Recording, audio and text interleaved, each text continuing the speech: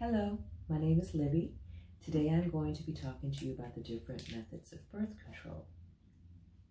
So that way when you go talk to your healthcare professional, you know, you'll be able to follow a little bit what they're going on about. The most common method, the one that most people know about is of course the condom. And the condom serves two purposes. It can have a dual role. Not only does it prevent pregnancy, it also helps to protect you against sexually transmitted infections. There is the birth control pill. These are pills that you have to take every day at the same time. If you miss a pill and you don't make it up, you're no longer protected. It has to be taken every day. There is the diaphragm. This is something that you insert right before you have intercourse. It's inserted into the vagina. There is the NuvaRing.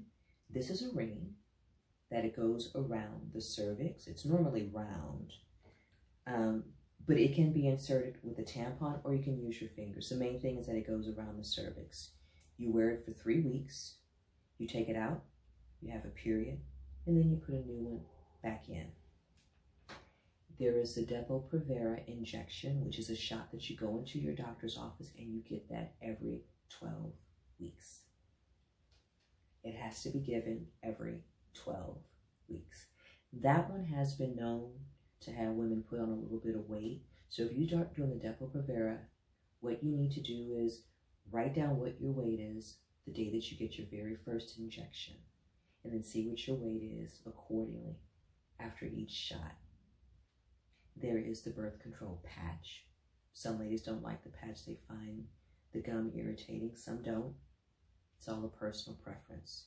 There's, of course, the Nexplanon. There is an implant that goes into the upper arm, and it's good for three years. That is what's known as a long-term reversible method of birth control. There is an IUD, which is a little T-shape that goes into the uterus. This is the Kyleena IUD.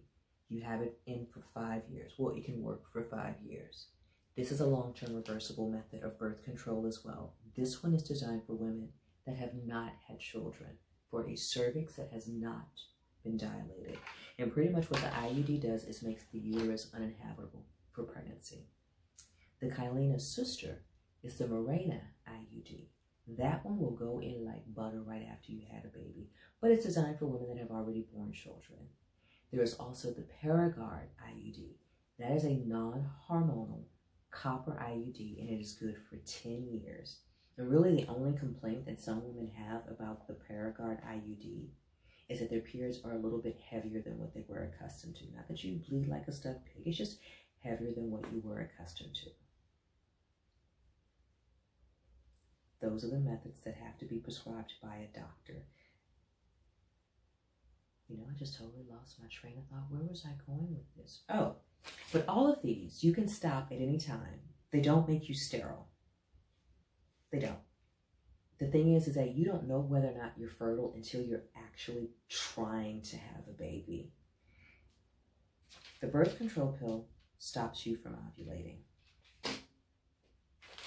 The diaphragm is supposed to catch the semen and then you take it out. But the thing about semen is that it can stay alive in the vagina anywhere from 48 to 72 hours. That's where spermicides can kind of come in because then you can put in a spermicide after, but that's only about 75% effective. And yes, you can get pregnant with pre-cum, and yes, you can get pregnant on the very first time that you have sex.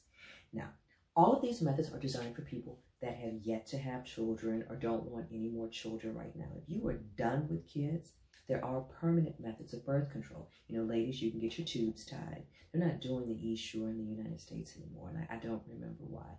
Fellas, you can get a vasectomy. Just like that. I get asked all the time, I work for a gynecologist, and I get asked all the time, people are just like, oh, Miss Libby, what's the best method of birth control? What is the one that will not fail? Abstinence Where's the fun in that? So I hope this has been helpful. One thing I want to mention as well None of these that you have to get the prescription for protect against sexually transmitted infections. They don't. They only prevent pregnancy. The pill, the IUD, the shot, the implant are more than 99% effective. When it comes to the birth control pill, if you have high blood pressure or you're a nursing mother and you're on a progesterone only birth control pill, that's only that's a little bit more than 98% effective. Withdrawal is a method of birth control, but that one's only about 45% effective. Withdrawal is what, you know, some of you may call pull and pray. Yeah. Plan B doesn't always work. If you have already gotten pregnant, Plan B is not going to work. It does not cause you to miscarry. It does not abort. It just doesn't work. I hope this has been helpful. If you have any questions, leave them in the comments below, and I will see you next time. Take care.